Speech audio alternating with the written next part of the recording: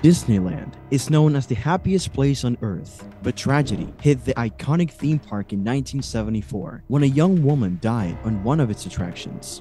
Deborah Gail Stone's death not only shocked her family and friends, but it also triggered a court struggle and sparked a broader discussion about theme park safety standards.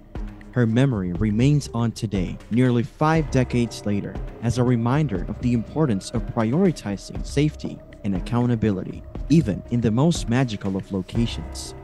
In the summer of 1974, Disneyland was the place where everyone wanted to be. Families from all over the world flocked to the amusement park in Anaheim, California to experience the magic and wonder of Disney. People used to say that Disneyland was the happiest place on earth because of its fun rides, colorful characters, and magical atmosphere.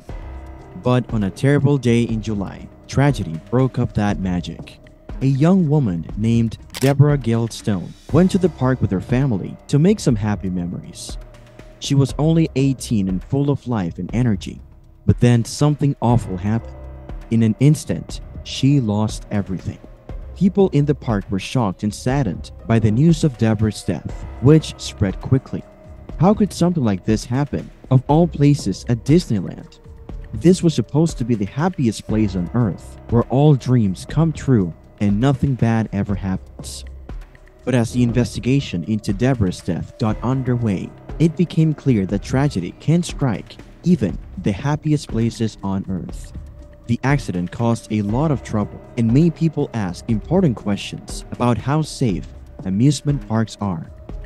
It was an event that would forever change Disneyland and the theme park business as a whole. The incident. The sad death of Deborah Gail Stone sent shockwaves through Disneyland and all over the world. How could something so terrible happen in the best place on earth? Deborah Gail Stone died just over a week after America Sings attraction reopened in the Carousel of Progress Theater at Disneyland in 1974. In 1973, the Carousel of Progress was decommissioned and its animatronic components were transferred to Florida's Walt Disney World Resort. The Disneyland attraction was eventually renamed America Sings and launched on June 29th of 1974.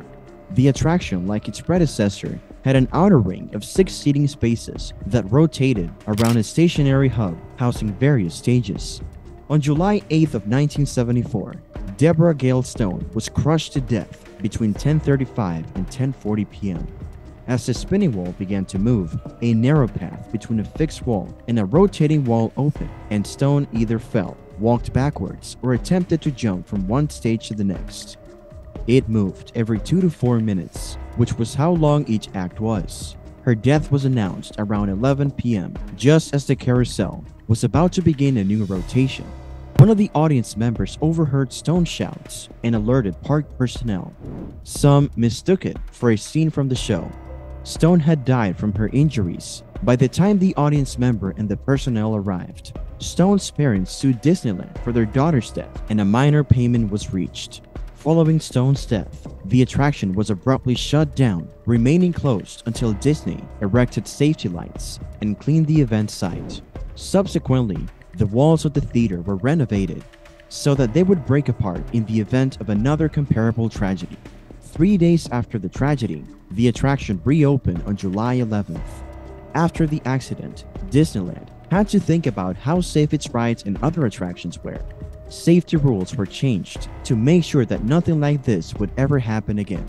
But the damage had already been done to Deborah's family and friends. They would never forget the day that bad things happened at the happiest place on earth. The aftermath. The death of this young woman at Disneyland had a big effect on a lot of people. It was a tragedy that shook the theme park business to its core and left a mark on both the park and the people who went there. America Sings was closed for two days following Stone's death at Disneyland, while a safety light that notified the attraction's operator anytime someone approached too close to the danger area was added. To avoid similar incidents in the future, the solid walls were eventually replaced with breakaway ones. The accident led to a larger discussion about safety standards in the theme park industry as a whole. Over time, Deborah Gail Stone's death became a lesson about how tragedy can happen anywhere, even in the happiest places on earth. Disneyland kept getting better and changing, always trying to make sure that its guests were safe and had a good time. But people would never forget what happened on that terrible day in July of 1974.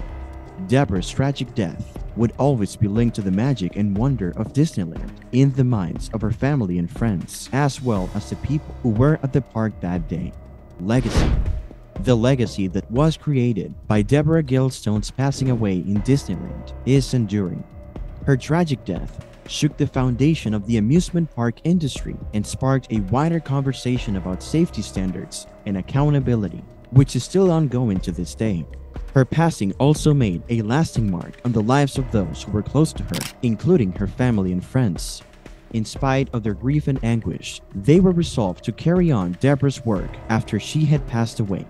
In order to accomplish this goal, Deborah's family established the Deborah Gail Stone Memorial Fund, which is a scholarship program designed to celebrate Deborah's life and work while encouraging young women to pursue careers in engineering and technology. Deborah's intelligence, resourcefulness, and drive are immortalized in the foundation she established, which has been of assistance to dozens of students over the course of its existence. As a direct result of her passing, there has been a refocused attention on safety standards and oversight, which has led to the creation of extra regulations and requirements that are designed to keep visitors safe while they are enjoying rides and attractions. Nonetheless, the lesson is that calamity can strike at any time and any location, and this one is likely to be the one that has the longest impact. As a result of Deborah's passing, her story serves as a lesson to be learned, a reminder that even the happiest places on earth are not immune to the harsh realities of life. Her story is a cautionary tale. It also serves as a useful reminder that safety and accountability should always be at the top of one's list of priorities not only in the amusement park industry, but in every part of one's life. Today's guests visiting Disneyland may not be aware of the horrible death that occurred to Deborah Gail Stone. For those that do, her legacy is a powerful reminder of the need of savoring each and every moment, as well as the necessity of remaining vigilant regarding the threats that are always there in our environment. Deborah Gail Stone's death at Disneyland was a tragic occurrence that forever altered the direction of theme park safety. At the end of the day, we all want to have fun and make happy memories with our loved ones. We can ensure that these experiences are enjoyable for everyone by prioritizing safety and being aware of potential risks. Thanks for watching. If you enjoyed this video, please like, share, and subscribe for more content. And don't forget to stay safe on your next adventure.